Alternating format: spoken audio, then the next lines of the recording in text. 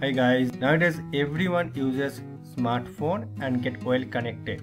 But when this situation occurs, people go mad because they're no longer connected. Now people uses power bank, but what happens if you don't have power bank or your power bank itself not charged? That time use this OTG cable to charge your phone from the other's phone.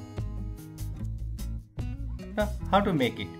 You have to connect two micro USB in parallel but on the OTG side the pin number 4 and 5 needs to be shorted as shown in the diagram.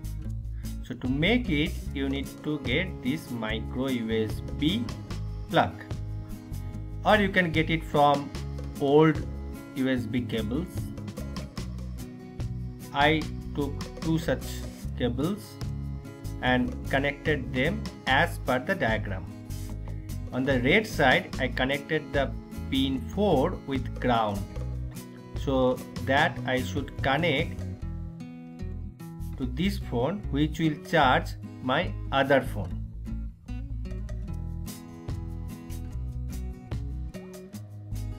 Insert into the phone which will charge uh, the other phone then connect it to the other phone you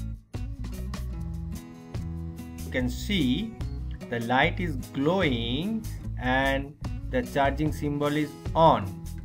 That means this battery is getting charged by the other mobile phone.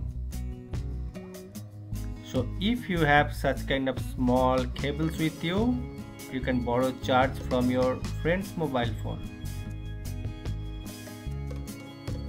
Thanks for watching.